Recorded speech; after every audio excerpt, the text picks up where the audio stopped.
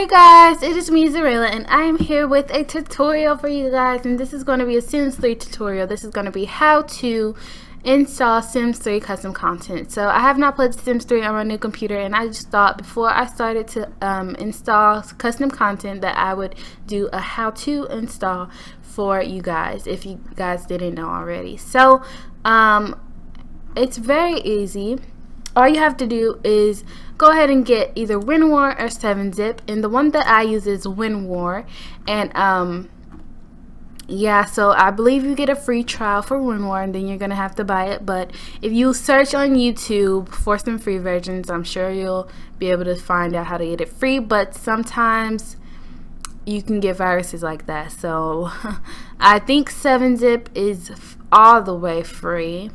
I think so. So either one I use WinRAR and I use the English 64-bit and if you have a 32-bit computer then you would use the 32-bit um, but to see if you have 64 or 32 you just go to the control panel and then go to my computer and go to like your computer properties or something and it'll tell you so anyways, you get WinRAR 64-bit or 32-bit, and then the same for 7-zip, you get either 64 or 32-bit, depending on your computer.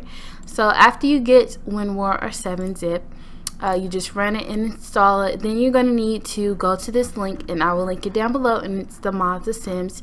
And you just go right here to download, and you click download, and then you open it with your WinRAR or 7-zip and then it should come up like this and you should have a folder called mods and then it will have two folders in here it'll have overrides which I have no idea what it is and it has packages which is where all of your mods are going to go inside of this packages folder so then you need this resource.cfg. So what I do is I go all the way back and I scroll down and it's still highlighted. So I it's still highlighted. Make sure it's highlighted. So I do that and then I click extract to. Then I go to documents and then electronic arts the Sims 3 and then I go to I just double click the Sims 3 and then I click OK. So now you're gonna want to open up the Sims 3 so go to your documents electronic arts 3, Sims 3 and you will have a mods folder. And inside will have all the things I just showed you. Packages, they already give you two mods. If you want to keep them or delete them it's fine. You can delete them if you want to. Um, basically this one is is when you're building you know how it shows the little sparkles and it gets kind of annoying?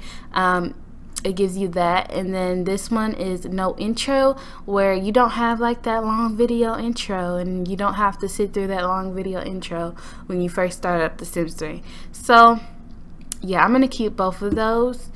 Um, but yeah that's basically how you get Sims 3 custom content. Now this is how you install it into your game.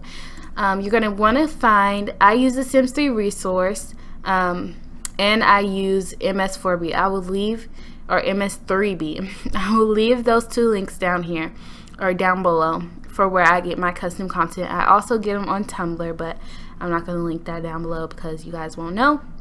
But um, I, the most ones that I use is the Sims Resource and MS3B. So anyways, this is the Sims Resource and I just found some hair that I like.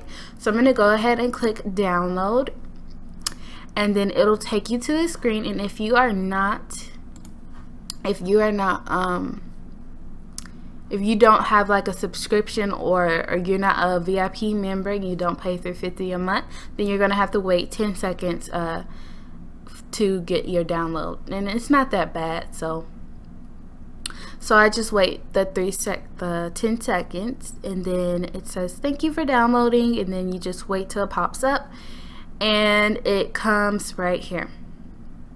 So then you're going to want to open it with the Sims 3 starter launcher. So we're going to click OK. Sometimes it's like this and sometimes it's not. Sometimes it's like actually a file.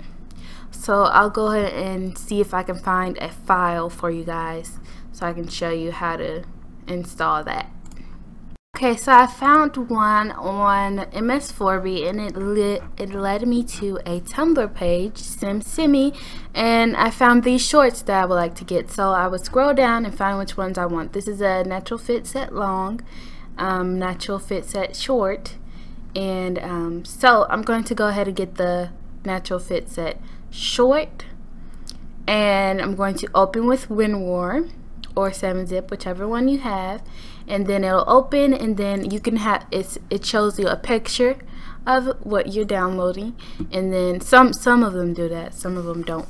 And then it has the package file or it has the Sims 3 where you can just double click and it'll install it from the Sims 3 launcher. This is how you extract then you just um, highlight it extract to documents EA I mean not EA Electronic Arts, The Sims 3, and then Mods folder, then Packages, and you click OK. So then there you have it. Okay, so that is all for my video. Hope you guys enjoyed. Hope it helped you guys. If it did, then leave a like.